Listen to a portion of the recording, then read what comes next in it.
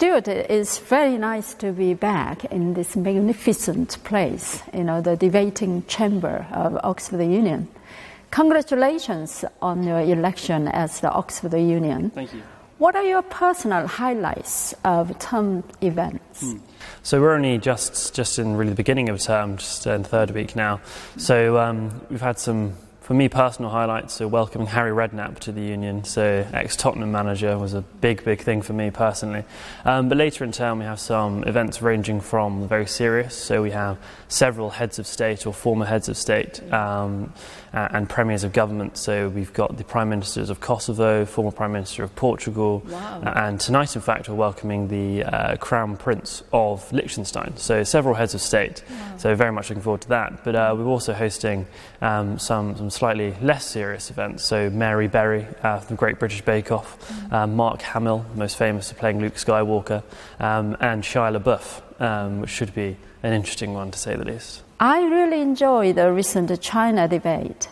Can you tell us a bit more about it? Yes, of course. So uh, recently we had a debate um, that was this House would sacrifice trade with China in protest of human rights abuses. And um, it was uh, one of our most popular debates of term. We had a packed chamber here, so people kind of hanging from the rafters. And um, the, the issue was, was debated over what our relationship, as in our relationship, this country's relationship would be with China moving forward. It's a topical issue not only with China, but also recently with Iran and Saudi Arabia.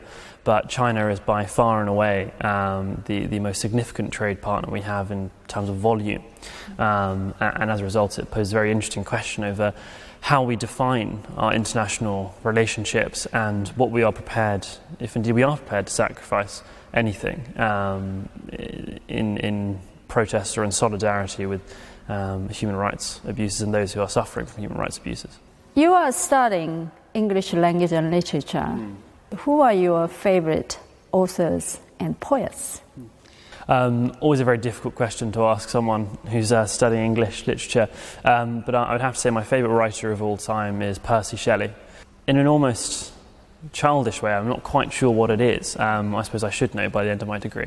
But there's just something about reading his poetry that um, it, it, always it always moves me, and that, that's essentially what writing is meant to do. Um, it's meant to have an impact upon the people who are reading it in some shape or form. Um, in terms of prose writers, so Thomas Hardy would probably be my favourite prose writer. Uh, he, he, interestingly enough, writes often about Oxford and the, what he would call Wessex, so the general um, kind of southwest area of England.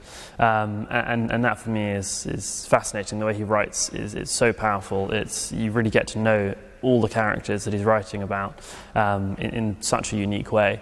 Um, and in particular, Jude the Obscure, which is about the difficulties of trying to get into Oxford, um, is something that a lot of people can, can relate to who sit in this chamber on a weekly basis. Many famous global leaders have been involved with the running of the Oxford Union. Mm. Is there anyone who you look up to? Mm. Um, so it's, uh, it's, very difficult to whittle down from all the leaders we've, we've had here come through our, our chamber. Um, uh, I, would say there would be two who are perhaps most well known. Uh, one would be William Gladstone, whose bust is, is over there, um, one of the most famous British Prime Ministers ever, um, and perhaps the most significant president of the Oxford Union, changing the society, you know, really getting down to what the society is all about, just free speech and debate, when he was president in 1830. Um, and uh, perhaps more globally well known would be Benazir Bhutto whose uh, painting is just over there, um, who actually, I believe she ran three times for president, so she lost the first two times, if, if um, my, my, knowledge is correct, um, and then eventually won third time. Um, so I think it's fair to say, even when she was in her early 20s, she was very focused and driven and, and knew where she wanted to go. Um, so yeah, I, I certainly admire that dedication. I can still remember her here. Mm in this room. I attended that event when I was a DPhil student at Exeter College, University of Oxford. She asked her friend, What's the secret of your success? And he said, By making the right decision. How do you make the right decision? By making wrong decisions. Mm.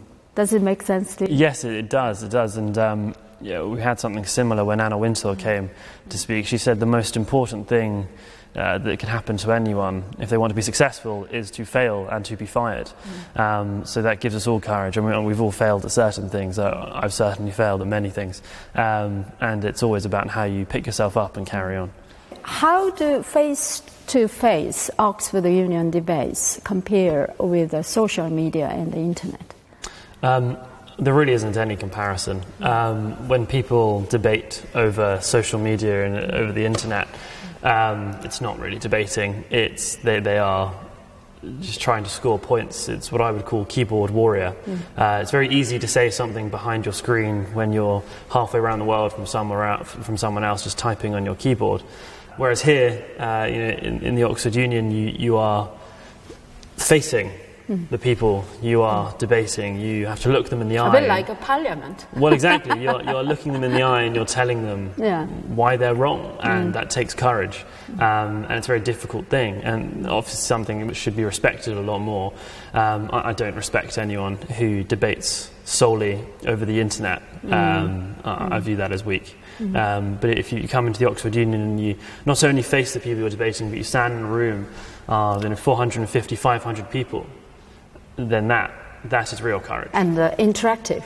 And you interact yeah, exactly. Yeah. If you're if you're discussing ideas over mm. the internet, mm. and discussing ideas is perhaps um, being too kind to what's actually happening. Mm. Um, then you don't have to take anyone, other's, anyone else's point. You can just ignore them. Mm. Whereas in the union, if someone stands up mm. and they say you know something like point of information, or they want to challenge you, then yes, of course you can tell them to sit down, but it would look very odd. You should always try and take the points of information if you can to show that your argument is robust and show that you have a total uh, grip of what you're talking about. And that's much, much more impressive and significant. Thank you very much Thank for very being much with us, in. Voices from Not Oxford. Thank, Thank, you very much.